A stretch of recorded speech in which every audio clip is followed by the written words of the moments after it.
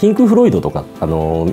バンドがいてそこのデザイナーヒプノシスというデザインチームがあるんですけどストーム・ソーガソンかあの中でもその人の作品っていうのかにはすごく影響を受けていて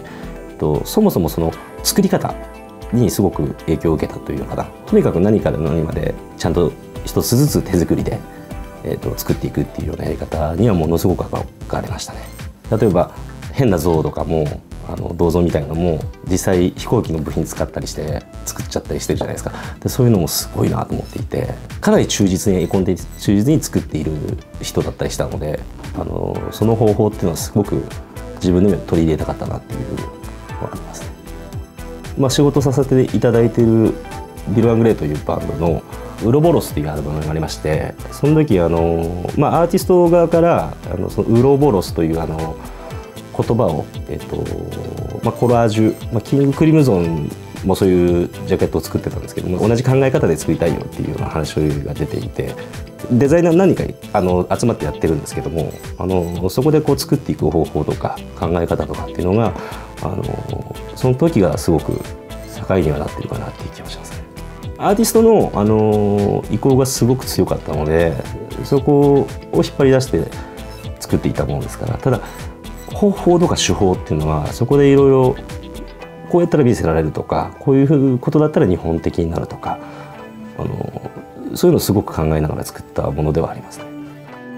やっぱりそのストーリー性とか、えっと、そこに込められた感情とかそういうものを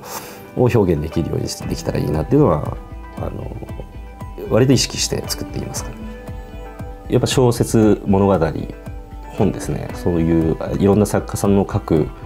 あの文章での世界観書かれている情景や登場人物の言葉ストーリーというよりもそこの中で広がる世界観というか見たことないなみたいなそういう世界観が結構描かれるんじゃないかなって感じがしますね。作る時の衝動と、えっとまあ、さっきみたいにどんどん変わっていく結果っていうのはすごくモチベーションになってるかもしれない。一番初めに思い立描いていたものから全然形が変わってるっていうのは未来を想像できない部分と一緒なのでそこに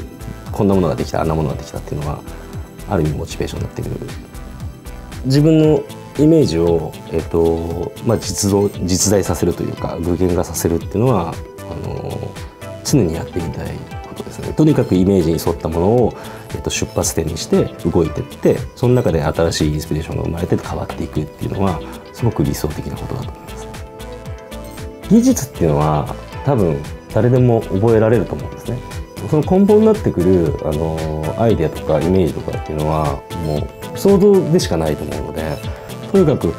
うん日常の中でも仕事の中でもいろいろ想像してもらって感情的な部分全部ひっくるめて想像して先読んでいくとあのすごく面白くなるんじゃないかなっていう